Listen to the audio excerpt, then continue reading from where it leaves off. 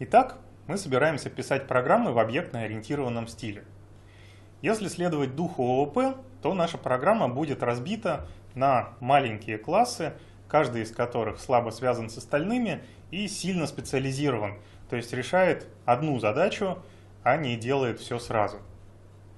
Когда количество классов в нашей программе переваливает за десяток, то возникает потребность как-то наши классы упорядочивать и структурировать. Для этого в Java есть пакеты. О них-то мы сейчас и поговорим. Принадлежность класса пакету обозначается директивой package. В самом начале файла с исходным кодом класса. Обычно эта директива идет первой же строчкой. Перед ней могут быть только комментарии. Вот это имя пакета. С учетом того, что класс Hello World находится в этом пакете, полное имя класса будет org степик Java Hello World.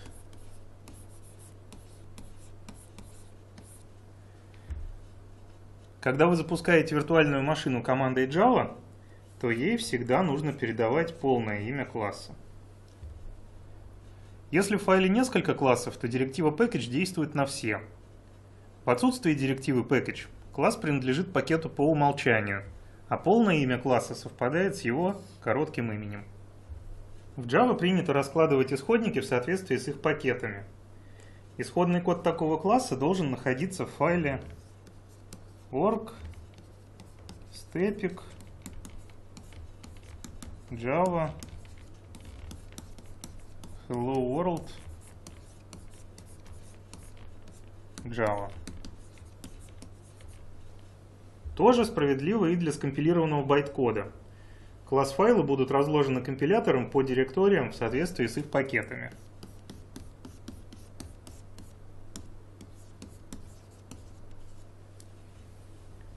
Это важно для виртуальной машины, которая, когда ей потребуется загрузить класс с таким полным именем, будет искать его строго в файле с таким именем и нигде больше.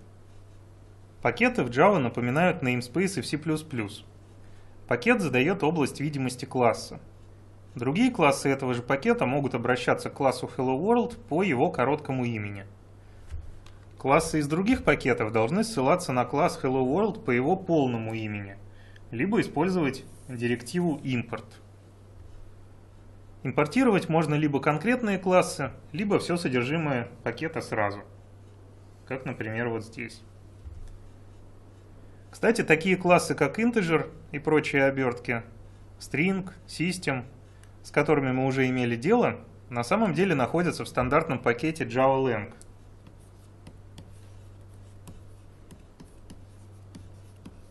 Однако импортировать нам их не приходилось. Это потому, что в любой Java программе подразумевается неявный импорт всех классов из пакета JavaLang. Классы этого пакета всегда доступны по их коротким именам. Интересная особенность.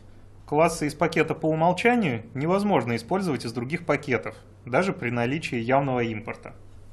Есть еще одна форма директивы import – import static, которая позволяет импортировать статические поля и методы. То есть в тексте программы можно будет обращаться к ним, не указывая имя класса. Например, sqrt от 4 или out println от foo. Также есть вариант со звездочкой – который одним махом импортирует сразу все статические поля и методы из класса. Иногда удобно, но злоупотреблять этим не стоит. Подчеркну, что директива import служит только одной цели. Она позволяет в исходном коде вашей программы ссылаться на импортированные классы по их коротким именам. Никакой подстановки тела импортированных классов в ваш файл не происходит, то есть это не аналог директивы include из C. Когда ваша программа исполняется в виртуальной машине, то все импортированные классы также должны присутствовать в класс Path.